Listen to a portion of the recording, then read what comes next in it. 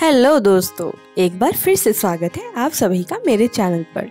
तो जैसा कि आप देख रहे हैं, आज हम लाए हैं सैंडविच की रेसिपी। ये सैंडविच बहुत ही टेस्टी है और साथ ही साथ हेल्दी भी है, क्योंकि ये बना है पालक से और कॉर्न से, जो कि फ्रेश कॉर्नस या फिर फ्रोज़न कॉर्नस आप ले सकते हैं। बच्चों को कॉर्नस और चीज़ बहुत पसंद है बट पालक खाना पसंद नहीं करते हैं और पालक तो उनकी हेल्थ के लिए भी अच्छा होता है, साथ ही साथ हमारे लिए भी अच्छा होता है। तो आप इसको इस तरह से और हेल्दी बना सकते हैं और इस रेसिपी को घर में सभी लोग खा सकते हैं, बड़े, छोटे, बच्चे सब इसको डेफिनेटली इंजॉय करेंगे। देखिए, ये चीज़ हमने कुछ देर पहले ही सैंडविच बनाए थे, अगर हम इसको गर्मा गर्म दिखाते तो इसमें चीज़ बस बहुत अच्छे से दिखता। तो यहाँ पर ये रेसिपी बहुत सिंपल है, बहुत इजी है तो आइए इसे बनाना मैं आपको बताती हूँ। सबसे पहले मैंने एक गहरा बोल ले लिया है, जिसमें पालक मैंने आधा किलो लिया है, क्योंकि ये पकने के बाद में थोड़ा सा ही रह जाता है। तो पालक हमने आधा किलो लेकर अच्छे से एक डीप बोल में वॉश कर लेंगे और इसको निकाल कर वॉश करना है, क्योंकि जितने भी इम्प्योरिटीज़ रहती हैं, वो नीचे रह जाती है। तो छः सात बार वॉश करें और अच्छे से इसको क्लीन कर लें, क्योंकि इसमें घास और कलर सेम होता है घास का और आपकी इम्प्योरिटीज़ का तो वो आप निकाल दें और इसको अच्छे से वॉश कर लें। यहाँ पर ये वॉश हो गया है।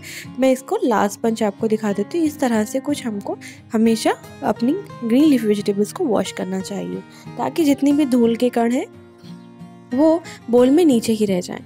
तो हमने एक पैन ले लिया है और उस पैन में इसको हमने रख दिया है बिना नमक डाले और इसमें बिना पानी डाले। इनको हमने अच्छे से प्रेस करके और इसको एक लिड के साथ में कवर कर कर धीमी आँच पर गैस पर चढ़ा देंगे। जब धीमी आँच पर ये पकेगा तो इसमें मॉइस्चर भी अच्छे से रिलीज़ होगा। आपने जो वाटर नहीं ऐड किया है तो वो भी आपको ऐड करने की ज़रूरत बिल्कुल नहीं लगेगी। तो कुछ इस तरह से हमने देखिए, इसको कवर करके रख दिया है। ये पक रहा है इसमें देखिए कितना अच्छे से मॉइस्चर रिलीज़ हो गया है। और इसको हम एक बार पलट देते हैं क्योंकि पालक हमको हम पलट देंगे तो ये चारों तरफ़ से अच्छे से पक जाएगा। तो ये देखिए अब बहुत कम क्वांटिटी इसकी रह गई है। हमने भर के रखा था इसको बिल्कुल। और ये अच्छा एक चीज़ और कर सकते हैं। आप तो चॉप करके इसको आप डाल सकते हैं या फिर आप इसको बाद में मेरी तरह ही चॉप कर लें या फिर मैश कर सकते हैं। तो यहाँ पे कॉर्नस लिए हैं मैंने जो कि फ्रोज़न कॉर्नस हैं, जो करीबन आपसे एक से डेढ़ कप तक ले सकते हैं। और इसको वॉश करके लेना है और इसमें ऐड कर देना है। अपने पानी नहीं ऐड करना है क्योंकि स्पिनिश का मॉइस्चर बहुत अच्छे से रिलीज़ हो चुका है। इसी मॉइस्चर के साथ में ये कॉर्नस पक के तैयार हो जाएँगे। सॉल्ट अभी तक हमने ऐड नहीं किया है, ना ही और कुछ ऐड किया है। तो अब देखिए इसका एकदम कलर मेंटेन करने के लिए और इसकी कुकिंग प्रोसेस रोकने के लिए हमने यहाँ पे एक बोल लिया है।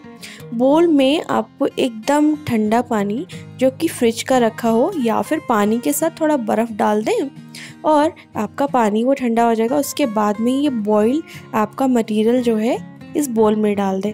आप सिर्फ़ पालक भी डाल सकते हैं या फिर आप दोनों भी डाल सकते हैं। तो इसको अच्छे से आप इसमें डिप कर देंगे, थोड़ी देर के लिए ऐसे ही छोड़ देंगे।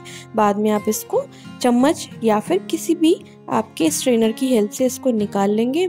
और अभी तक हमने इसको चॉप नहीं किया था, क्योंकि हमने साबुत ही रख दिया था तो आप इसको निकालने के बाद हल्का सा निचोड़ कर चॉप कर लें। अच्छा जो हमने उसका मॉइस्चर बचा है ना, वो आप सूप के काम में ले सकते हैं, उससे आप स्टॉक वो बन गया है तो आप उससे कोई भी सूप बना सकते हैं। ये हमने पालक चॉप कर लिया है। हमारे यहाँ पे कौन सा हमने ऐड कर दिए हैं। और इसको हमने अब इसको बोल में वैसे ही ट्रांसफ़र रहने दिया है। इसमें अब क्या क्या ऐड करना है? बहुत सिंपल से मसाले हम इसमें ऐड करेंगे, जो कि आपको बिल्कुल ऐसा लगेगा ये सैंडविच खा के, जैसे कि आप सी सी डी का मतलब कैफ़े कॉफ़ी डे का सैंडविच आपका होता है ना? कॉर्न स्पिनिच वाला, वैसा ही टेस्ट आएगा। तो यहाँ पर हमने मिन्स चीज़ के पीसेस डाल दिए हैं। मतलब कि मिन्स चीज़ डाल दी है इसकी क्वांटिटी आप जितना चाहें अच्छे से डाल सकते हैं। घर में किसी को कोलेस्ट्रॉल का इशू है या फिर वेट रिड्यूस करना चाहते हैं फैटी लिवर का इशू है तो इसमें आप चीज़ अवॉइड करें। आप फिर हंग कर्ड ऐड कर सकते हैं। यहाँ पर इन सबको अच्छे से मिक्स कर दिया है और ये आप अब आप ऐड करेंगे थोड़ा सा सॉल्ट क्योंकि अभी तक हमने सॉल्ट नहीं ऐड किया था। यहाँ पे सॉल्ट ऐड होने के बाद में आपके पास में अगर कोई सीजनिंग है इटालियन हर्ब्स हैं, वो आप इसमें ऐड कर दें। जैसे कि औरिगानो है औरिगानो आजकल सभी के घर में होता है। नहीं भी होता है तो हमारे पिज़्ज़ा के साथ बहुत सारे औरिगानो आजकल आते हैं। वो स्टोर करके जनरली मम्मा रख ही लेती है तो वो हम इसमें ऐड कर देंगे। ऑरिगेनो मैंने बहुत अच्छे अमाउंट में डाला है, और आप इसमें थोड़ा सा ब्लैक पेपर डाल सकते हैं, और साथ ही साथ इसमें आप पिज़्ज़ा की जो सीजनिंग आती है, वो मिक्स सीजनिंग होती है तो वो आप इसमें डाल दें। थोड़ा सा अगर आपको लगता है कि इसको इंडियन टच देना है, तब आप जूर डाल सकते हैं बट मुझे यहाँ रिक्वायरमेंट नहीं लगी है तो मैंने यहाँ पे नहीं ऐड किया है। और यहाँ पे मैंने सीजनिंग जो भी मेरे पास थी, वो मैंने घर पे सीजनिंग ऐड कर दी है। हम यहाँ पे इसको अच्छे से मिक्स कर देंगे, चला देंगे और कुछ ऐड करने की आपको ज़रूरत बिल्कुल भी नहीं है, क्योंकि ये एकदम सीसीडी वाला टेस्ट चाहिए तो इसमें अननेसेसरी चीज़ें तो ऐड ही नहीं करनी है। यहाँ पे अच्छे से इसको मिक्स करेंगे, क्योंकि इसमें अच्छे से मिक्स जब तक नहीं होगा तो उसका टेस्ट अच्छे से निकल कर नहीं आएगा, क्योंकि हमने सॉल्ट पहले से ऐड नहीं किया था। आप चाहते हैं तो सॉल्ट आप पहले से ऐड कर सकते थे। तो इसमें आप थोड़ा सा, अगर आपको लगता है थोड़ा और ऐड कर सकते हैं, आप इसमें चीज़ को। यहाँ पे हमने बहुत अच्छे अमाउंट में बारीक कटी हुई प्याज का यूज़ किया है। करीबन ये मैंने दो मीडियम साइज़ की प्याज ली थी। आप दो बड़े साइज़ की प्याज का भी इसमें इस्तेमाल कर सकते हैं। बस ये ध्यान रहे चॉप आपको इसी तरह से करना है। थोड़ा सा गार्लिक आप चाहें, घर में खाते हैं तो आप ऐड कर सकते हैं अदरवाइज़ इसको स्किप भी कर सकते हैं। जो लोग अनियन गार्लिक नहीं खाते हैं। सॉल्ट अभी मुझे लगा है कि हमने जितनी क्वांटिटी हमारी हो गई है, उसके अकॉर्डिंग ये कम है तो हम इसमें थोड़ा सा सॉल्ट और ऐड कर देते हैं और थोड़े से मसाले और ऐड कर देते हैं, जो कि बेसिक हैं और एंड पिज़्ज़ा सीजनिंग मैंने ऐड किया इसको अच्छे से मिक्स करेंगे। और आपने ब्रेड क्या यूज़ करनी है, वो आपको घर पे ध्यान रखना है क्या? या तो आप होल व्हीट याद रखें, क्योंकि मैदा वाली ब्रेड जो आती है वाइट आती है और ब्राउन में एडवाइज़ नहीं करती हूँ, क्योंकि उसमें भी कलरिंग एजेंट एडेड होते हैं। तो यहाँ पे हमने होल व्हीट ब्रेड लिए उसको हमने इस तरह से साइड्स कट कर लिए हैं।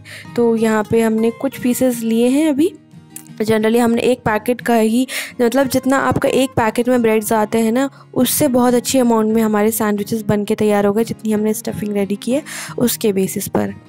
तो यहाँ पर हम इसकी साइड कट कर लेते हैं, एक अच्छे से नाइफ़ की हेल्प से, और आप इसके आप सैंडविचेस तैयार कर सकते हैं। बटर के लिए मैं आपको बता देती हूँ कि अगर मेल्टेड बटर है तो बहुत अच्छा है, अगर रेफ्रिजरेट किया हुआ है तो हल्का सा उसको मेल्ट कर लें अवन में या फिर तवे पर रख कर आपके बोल को।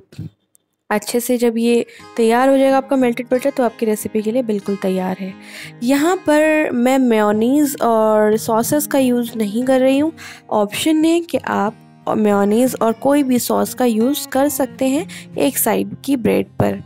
पर हमने यहाँ पे कोई सॉस या फिर आपके मेयोनीज़ का यूज़ नहीं किया है। तो इट्स अप टू यू आपको यूज़ करना है या नहीं।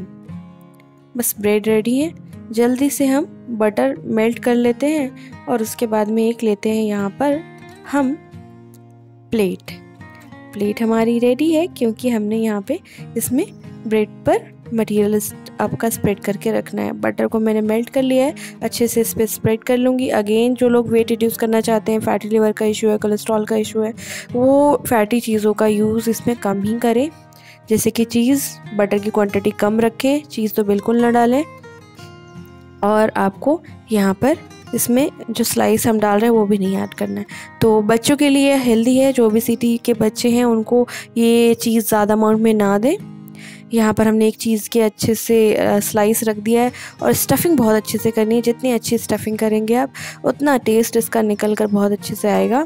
एकदम गर्मा गर्म सर्व करेंगे तो आपको चीज़ बस मतलब कि आपको जैसे पिज़्ज़ा से आपकी चीज़ उठती हुई दिखाई देती है ना, कुछ वैसे ही दिखाई देगी।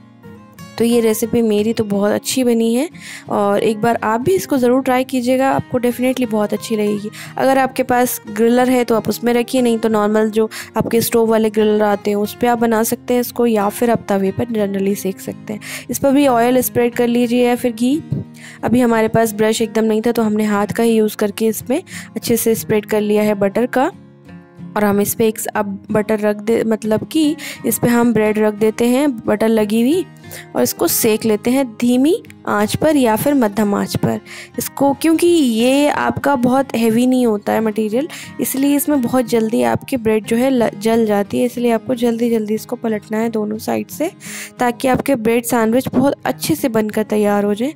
तो कुछ इस तरह से हम इस पर पका रहे हैं, गैस थोड़ा सा तेज़ रखा है मैंने अभी। पहला जो हम बनाते हैं तो कभी कभी होता लग जाता है तो इसलिए बीच बीच में चेक करते रहें। तो ये मैं दोनों साइड से चेक करती जा रही हूँ। कुछ इस तरह से ये तैयार हो गया। ऑलमोस्ट ये तैयार है। अब हम इसको गर्मा गर्म सर्व कर लेते हैं सॉस के साथ या फिर चटनी के साथ में। तो यहाँ पर देखिए ब्रेड तैयार है और थोड़ी देर हो गई है रखे हुए क्योंकि हमने चार एक साथ आपको दिखाने थी बनाकर। तो एकदम से चीज़ बस तो आपको यहाँ पे निकल के नहीं आएगा। पर ये बहुत टेस्टी बना है, बहुत अच्छा बना है तो इस तरह से मैं इसको चॉप कर लूँगी। आपके पास पिज़्ज़ा कटर है तो आप उससे कट कर लीजिए, या फिर आप नाइफ़ से कट कर सकते हैं मेरी तरह। तो कुछ इस तरह से मैंने इसकी प्लेटिंग कर दी है। हमारे सैंडविचेस बनते जा रहे हैं। आप देखिए थोड़ी सी गलती हुई और ये सैंडविच इस तरह से हमारा ज़्यादा पक गया है। तो यही ध्यान रखना है आपको इस तरह से बनाते हुए क्या आपको बिल्कुल भी जले नहीं। हमने साइड पलट दी है, क्योंकि आपको दिखाना भी तो है। तो यहाँ पर हम इसको कट कर लेते हैं, गर्मा गर्म सर्व करते हैं सॉस के साथ में। ये रेसिपी एक बार ज़रूर बनाइएगा, आपको कैसी लगी हमारी रेसिपी और हमारी रेसिपीज़ कैसी लगती हैं आपको कमेंट बॉक्स में बताना बिल्कुल ना भूलें। चैनल को अभी तक सब्सक्राइब नहीं किया है तो चैनल को ज़रूर सब्सक्राइब कीजिएगा और रेसिपीज़ बनाते रहिएगा, बच्चों को खिलाते रहिएगा बच्चे भी बार बार आपके अच्छी अच्छी रेसिपीज़ की डिमांड करते हैं तो आप नई नई रेसिपीज़ उनको बना कर देते रहें। टिफ़िन बॉक्स में भी उनको ये रेसिपी रख के दे सकते हैं। डेफ़िनेटली वो पालक नहीं खाते हैं अगर तो इसे खाने के बाद वो खाना शुरू कर देंगे, क्योंकि ये रेसिपी बनती ही इतनी अच्छी है। तो ऐसी ही मज़ेदार हेल्दी रेसिपीज़ के लिए हमसे जुड़े रहें और हमारे चैनल को सब्सक्राइब करें, ताकि हम आपके लिए मज़ेदार सी रेसिपीज़ आप तक पहुँचाते रहें। सब्सक्राइब नहीं किया है? तो अभी तक चैनल को जल्दी से सब्सक्राइब कीजिए और बताइएगा ज़रूर हमें कमेंट बॉक्स में हमें आपको हमारी रेसिपी कैसी लगी। चलिए मिलते हैं नेक्स्ट वीडियो में एक और नई मज़ेदार रेसिपी के साथ। तब तक के लिए बाय